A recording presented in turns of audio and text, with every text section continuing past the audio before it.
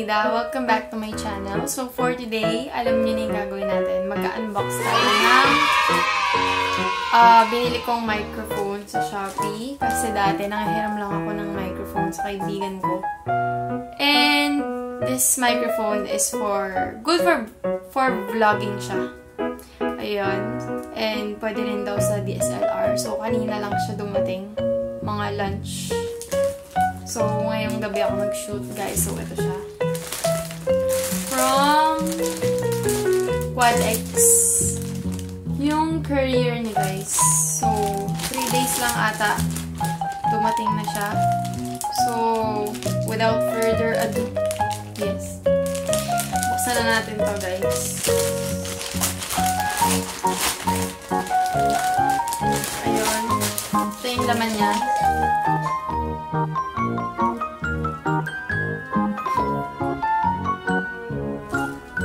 So, ayun guys, sa laman nung binuksan natin plastic. Ito na. Siya, naka-bubble wrap pa. Yan, boya. Microphone. So, bubuksan natin siya.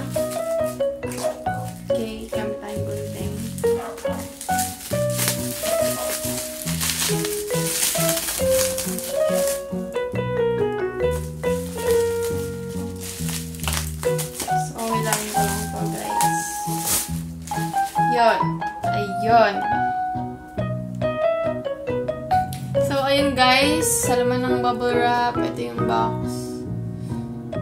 Yan. Meron pa siyang scratch coating. Hindi ko alam kung para saan to. Ayan. May isi-scratch daw.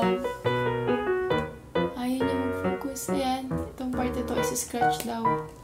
Hindi ko alam kung para saan. Sa likod, nakalagay yung mga features niya. Gilid, nakalagay. Ayan. BYMM1 Universal Cardio with microphone.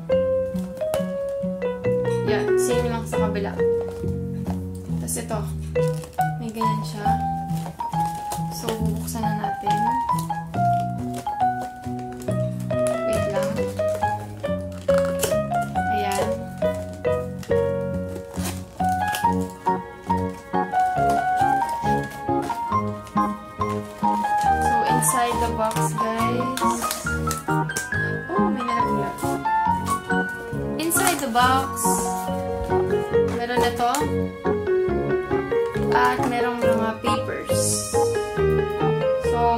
Warranty card daw siya. Hindi ko alam kung magagamit ko to not. Tapos, merong manual. Manual on how to use this microphone. Ayan, instruction manual, features, specifications ng microphone. Ayun, basahin ko lang guys. Transducer, electret condenser, polar pattern, cardio width, frequency response 35 to 18 kilohertz, plus negative 3 dB, sensitivity negative 42 dB plus negative 1 dB slash 0 dB is equals to 1 volts per Pascal, comma 1 kilohertz. Signal to noise ratio 76 dB SPL. Plug 3.5 mm TRS and TRRS connector. Dimension is 22 by 81 mm at ang kanyang weight ay 86 grams. So, ayun guys. Ito. Nandito nakalagay yung nasa box. Tapos, pwede siya for smartphone. Yan. Pwede rin siya sa DSLR. So, ayan guys. Nandito lahat ng gusto nyong malaman about this Boya microphone. So, ito na guys. Yung laman ng box kanina. This is the mic itself. Mabuhok siya guys. Yan. Mabuhok siya. Tapos ito meron siyang, ayan. And then merong ganito. Hindi ko alam yung tawag dito. Nandito yung sa manual.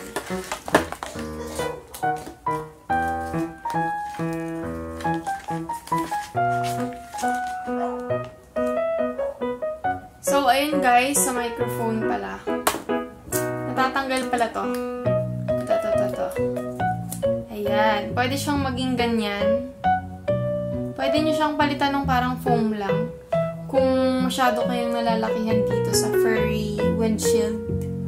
Pero ito kasi malaking tulong to for uh, pag-filter ng noise kapag nag-record kayo, video recording, or anything. Pero kung gusto niyo naman na uh, kayo dun sa kapal nito, pwede niyo siyang palitan ng alternate na anong tawag dun?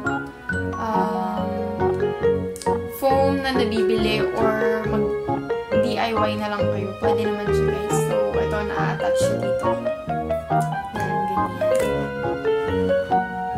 So, ito. Furry windshield and the microphone itself.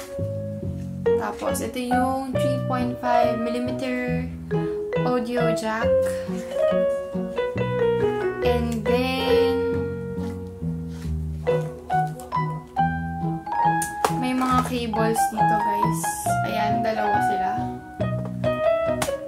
The first one is, may tag naman sila.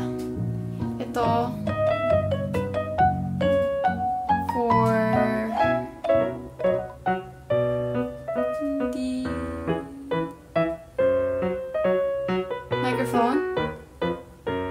This one, yung dalawa lang yung dot niya. Ah, I mean, yung line. Yung dalawang line for microphone. And then, itong tatlong line is for the smartphone. Yung ikakabit nyo sa cellphone. Ito yung ikakabit sa mic, guys. Ayan. Tapos ito, sa cellphone. Then, ito namang isang cable. Para siyang cable ng telephone. Ang tawag naman dito ay TRRS audio output cable. Hindi ko alam kung para saan siya. Ayun. Yun pala, nakalagay pala dito sa manual guys yung pinagkaiba ng TRS at TRRS cable. This is the TRS and the TRRS cable. So, itong TRS for smartphone, tablet, or Mac. And then this one is for camera, camcorders, audio audio recorders, and other audio or video recording devices.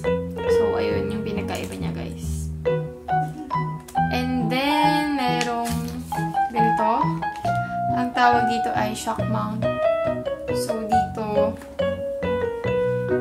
ilalagay yung microphone. Parang stand niya.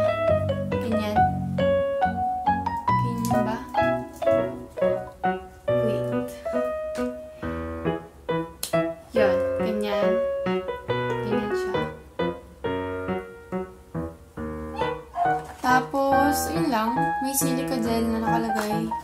Tapos, may free case from Boya.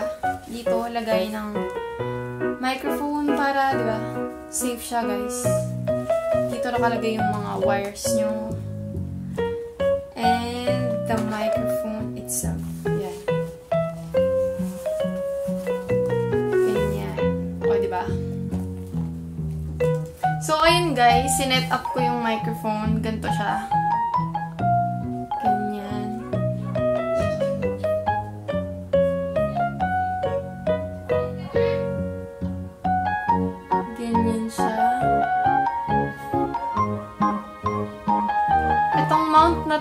Ko for 200 pesos ata.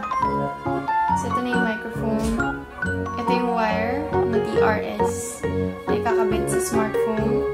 So, itong Gorilla Pod, ito. Ito na yung pinaka-setup ko, guys, kapag uh, pwede naman sa indoor or outdoor. Yan, kapag mag-vlog kayo sa labas. Gantong setup lang, guys. Pwede, pwede na. Kahit wala na kayo nung ilaw na maliit na, na ilalagay dito sa taas. Or pwede naman. Ayun Hindi pa ka nakaka-order nun o order pa lang din ako guys. Pero kung maliwanag naman, hindi niya na kailangan gumamit. So, ayun lang guys. Um, sa Shopee ko pala, so ayun guys, ito lang yung pinaka madaling setup na ma gagamit ng mga nagsisimula pa lang sa YouTube, katulad ko. So, ganito yung setup ko, guys. Ayan. Ito, 200 ko lang nabili. Link down below ko na lang kung saan nabili yung shop. And then, ito, nabili ko sa Shopee. Shopee ko pareho sila nabili. Actually, pati itong Gorilla Pod, 99 lang ata, or 100. This microphone, Boya microphone, um, may nagbebenta ng 880, may nagbebenta ng 900. Pero yung pinagbilihan kong shop, siya yung pinakamurang nagbebenta. So, sa Aajun Store 1 sa Shopee, ililink down below ko na lang. 799 lang yung price nitong microphone, guys. Tapos, nagamitan ko pa siya ng voucher na 15% off. So, naging, uh, tapos pala may coins pa ako na 170. So, naging 570 na lang yung binayaran ko sa microphone, di ba? So, ayun lang guys. For this vlog, uh, suggest kayo ng mga ibang vlogs na gagawin ko sa susunod or tutorials or anything. So, bye guys!